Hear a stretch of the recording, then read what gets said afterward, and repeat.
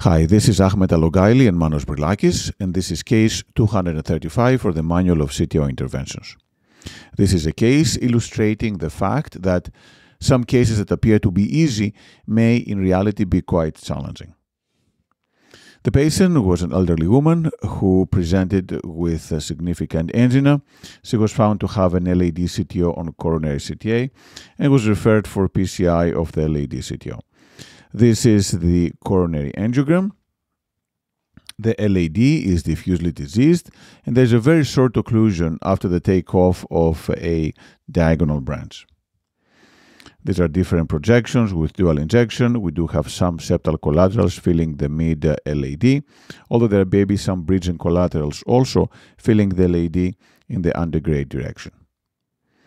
So again, this appears to be a fairly short CTO with um, um, maybe 5 millimeters in length with diffusely diseased distal vessel. So we have uh, a CTO of the LAD there's short, diffusely diseased distal vessel, septal collaterals coming from the PDA, and um, there are also some epicardial collaterals distally.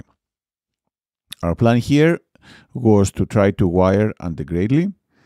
If that didn't work, go retrograde through septals and then use ADR as the third option.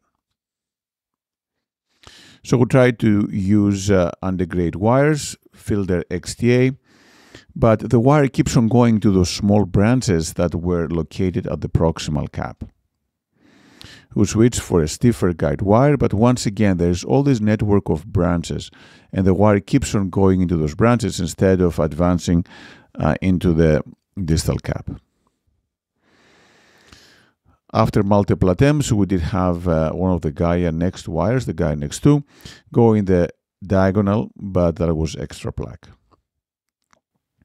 So after multiple attempts, we decided to move to step number two, which is to go retrograde. So we advanced a microcatheter, did a selective tip injection. We tried to advance uh, a guide wire through a distal septal branch that was not successful. And then um, we used a little more proximal septal and uh, a Suoh 03 guide wire uh, was able to be advanced relatively easily across the LAD, but unfortunately, the septal connects literally at the distal cap, which is one of the limitations of uh, going retrograde through more proximal septals. And actually, we were confused about it and took us a while to realize it. But it turns out the wire actually was going into a diagonal branch. This was not the LAD, but the septal was connecting with the diagonal branch. And despite all attempts, we could not actually wire retrograde and come back to the LAD. So now we left this wire there as a marker. And then we came back in the antegrade direction. We used uh, a Sasuke dual lumen and a Gaia Next 2 guide wire. We tried to do parallel wiring. The wires seemed to be in the extra plaque space, but uh, despite uh, doing the parallel wiring, we were unable to get in the true lumen. So we decided to change to antegrade dissection reentry, double blind stick and swap, poking through both sides of the uh, Stingray balloon, and then switching for a polymer jacket wire, but unfortunately this is still in the extra plaque location. So troubleshooting went a little further down. We uh, did the so-called bobsled, and then we used an Astato 20, and that seemed to be going in the right direction but this is the contralateral injection to confirm.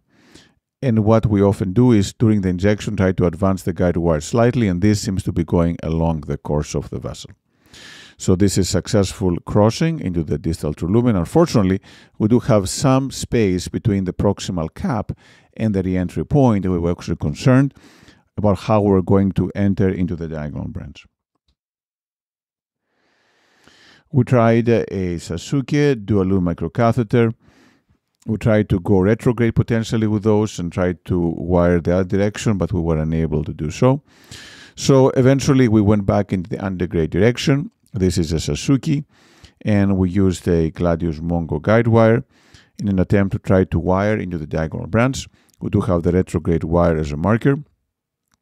And eventually, we were able to advance it along the course of the vessel, but we weren't still sure whether we're in the right direction. So, contralateral injection is done here through the microcatheter, and actually, the guide wire is indeed into the true lumen.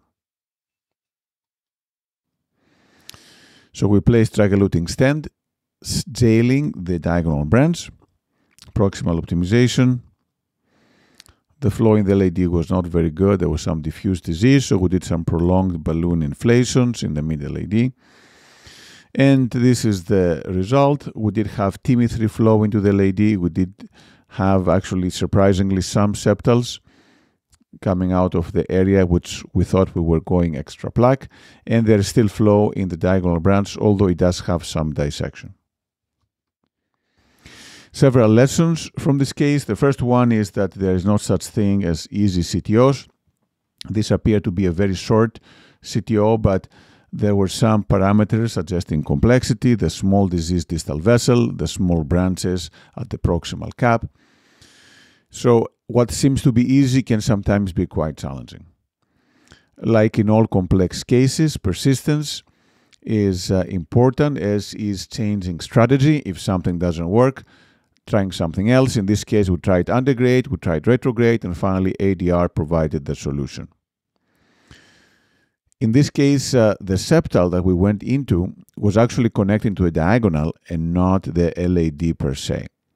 And that uh, made it more challenging to cross, but was useful by highlighting the position of the diagonal and the LAD. And then when reentry fails in one location, Sometimes it may succeed by trying in a slightly different location, usually going slightly more distal. And one can use either the double blind stick and swap or the stick and drive technique. In our case, the stick and drive with an Astato 20 was the successful crossing strategy. Thank you.